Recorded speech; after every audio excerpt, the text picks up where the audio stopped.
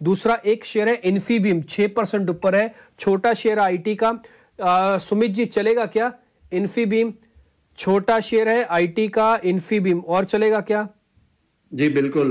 डिम्पी जी यहाँ पे ये स्टॉक को आप संभाल के रखिए। देखिए वीकली टाइम फ्रेम पे भी जब आप देखेंगे तो 27 से 28 का जो जोन है वो पिछला इसका स्विंग हाई था and it is near to the resistance level तो बिल्कुल अगर सस्टेन कर रहा है ये स्टॉक और भी चल सकता है। आगे चल के टारगेट आपको मिनिमम ये 35 का, तक का आ सकता है।